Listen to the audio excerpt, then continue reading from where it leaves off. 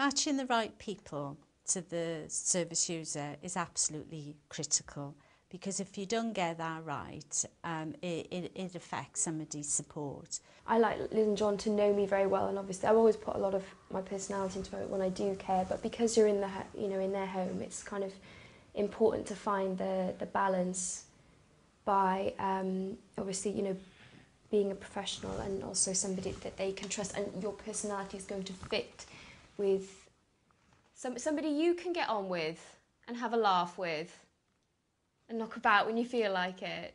I, I love working with Alan. Um, you know, I absolutely adore it, and, and I think Alan likes likes working with me too.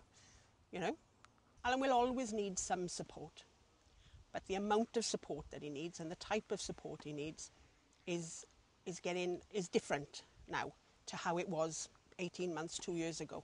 It is different. Um, and he, he is coming on in leaps and bounds. One of the things that we look for in, in staff, regardless of whether it's an administrative function or a support function, is that they have a, a positive attitude and a very strong value base. Ten years is a long time to be with two, um, um, two gentlemen, and you know, you, it's, it's, I, I spend a lot of time uh, living at home with them, and I see the, the, the emotional downs and I see their emotional ups.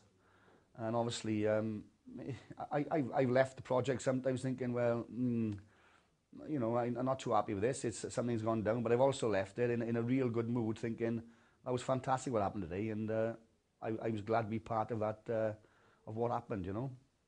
The boys that we've got with Phil now, um, there's six, seven of us, and everybody gets on with him tremendously. He can have his little ups and downs, as everybody can, but um, generally it's a very, very good pairing of the team. It's something, either you can do it or you can't do it. And I think in the caring industry, there are people out there who will care for anybody, regardless of what the circumstances are. And other people, when they do it, oh, because it's a job.